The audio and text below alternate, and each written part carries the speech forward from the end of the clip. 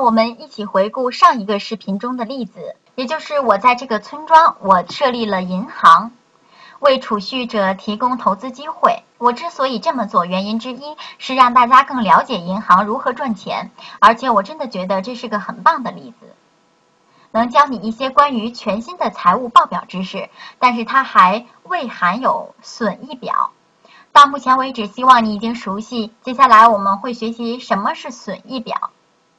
假设这是我初始资产负债表，营运第一年年初的负债表，我们看一看。重新说过，我想我说过，我投入这家公司初始资本为一百万美元，这一百万来自我的存款，或者去拜访十位朋友，每个人提供十万元。但是我并不在乎股本是从何而来的，我们所以知道，接着我买一栋很有放钱的建筑物。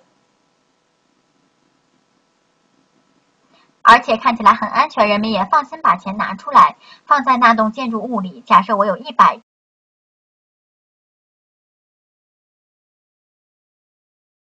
后来村庄的其他人看见的这栋巨型，他们都会把至少部分积蓄作为我这儿存款。他们会说：“哇，把钱存在这儿，比放在床垫或者埋在后院安全多了。”而且萨尔的银行还说他会给我一些利息。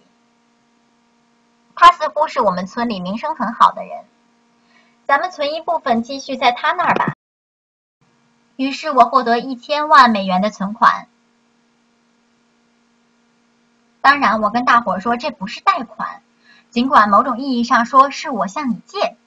不管何时需要用钱，可以随时来取。因此，我需要保留一部分存款，以防隔日你再过来跟我说，你知道的，我昨天把钱放在这儿，我需要。支付洗漱牙刷之类的费用，所以我需要保留一部分钱。而且我发现，如果我设定百分之十的留存率，那会是一天之内人们的一些特别情况发生。所以我将保留百分之十的存款作为准备金，也就是现金准备。这里假定有一百万美金的现金准备。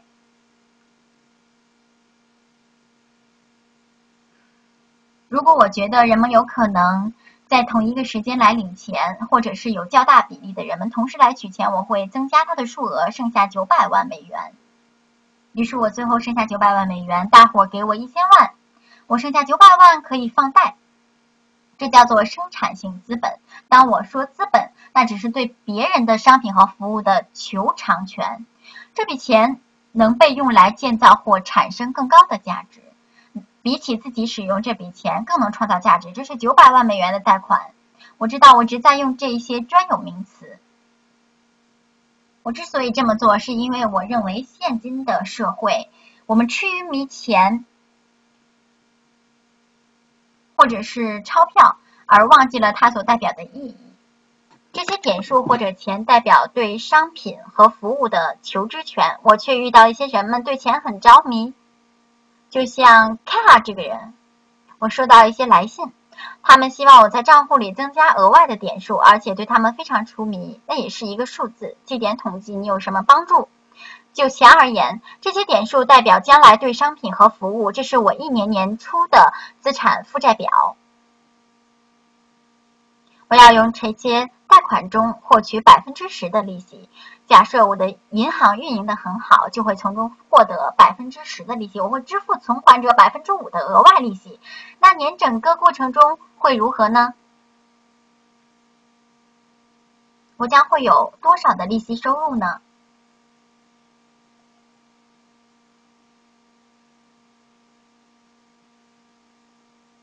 我把它叫做利息收入，它等于九百万乘以百分之十。我将会拿到九十万美元。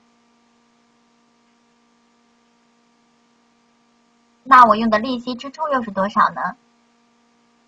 我可能已经用绿色的数字写出来了。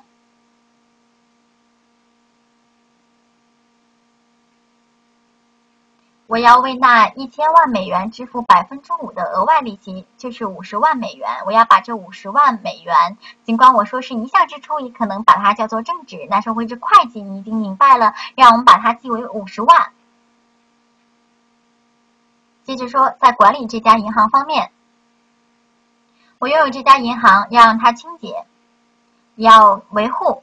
还有需要银行的柜员和保安，我也需要为保安买机枪。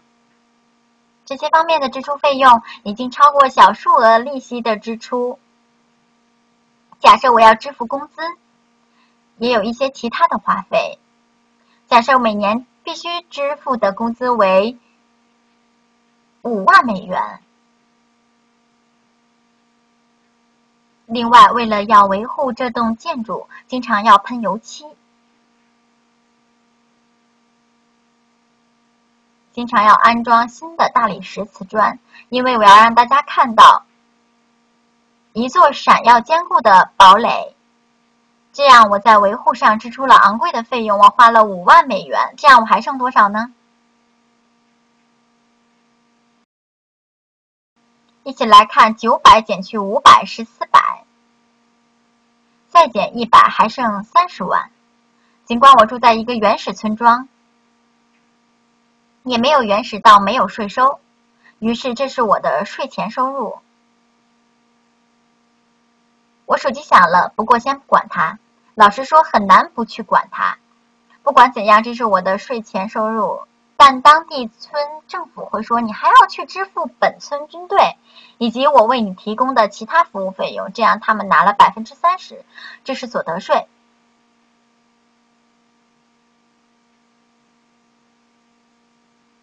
假设他们拿走了三分之一，总共是拿走了十万，现在还剩多少呢？我的净收入是多少？三百减一百，所以我剩下二十万，还可以。这样的话，你知道这就是损益表。我将花点时间说明这些如何串起来。我在四周画一个大一点、好看一点的，更像个窗户。那么年底我的损益表会是什么样子呢？假定这是我赚到的钱，假定这些贷款还没有还清。人们只支付了百分之十的利息，所以在损益表上仍然有某些贷款项目。让我把贷款也画上。我仍然有九百万的资产，也就是这些贷款。当他们还没有付清，我仍然拥有这栋楼。实际上，由于我花了五万美元做维护，银行的所有磨损都被修复了，于是它价值，我仍然可以拥有一百万的这栋建筑。以及九百万美元的对外贷款，之前我有一百万的美金，那么现在有多少现金呢？我之前有一百万，现在做这样一个假设：假设在这里总存款额不变，也就是我有一百万的现金，并且存款没有太大变化。这一年里我赚了二十万美元，把它记在后面。这二十万现在基本上是我一百二十万美元的现金。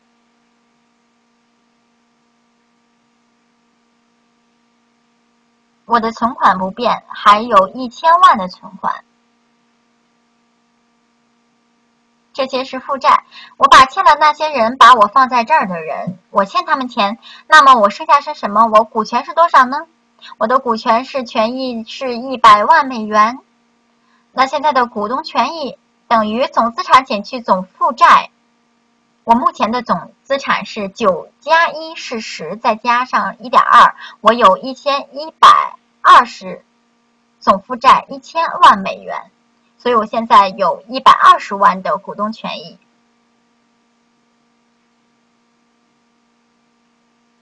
现在有趣的事情发生了，我的股东权益有哪些改变了呢？我原本有一百万的股权，现在我有一百二十万美元的股权，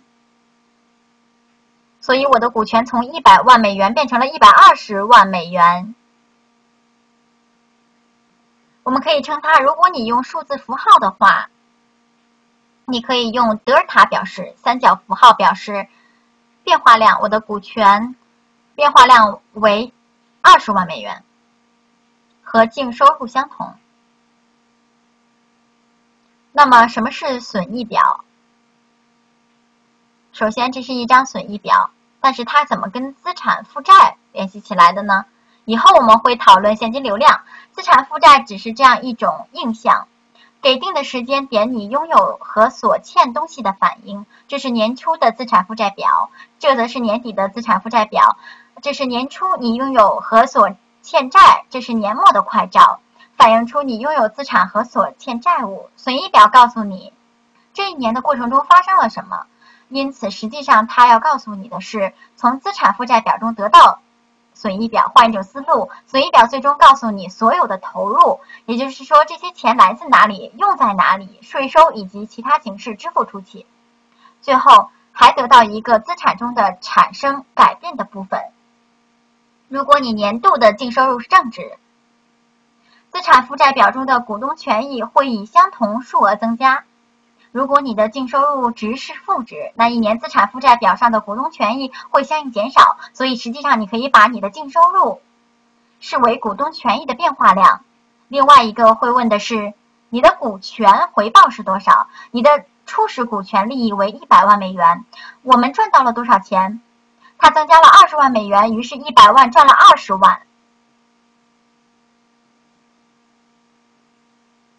我们把一百万记作一百 K，实际上赚了百分之二十，那就是来自股东权益的。我们投资一百万美元，获得多于它的百分之二十，也就是我们的股东权的效率，就是 ROE。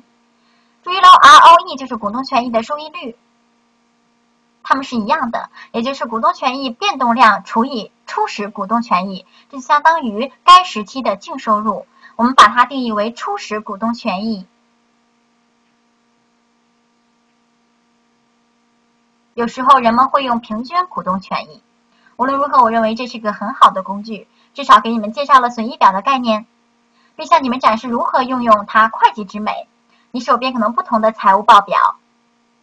它们相互联系在一起，给我两张资产负债表，可以编造一个损益表。这张损益表是通过这两张资产负债表。好了，下个视频再见。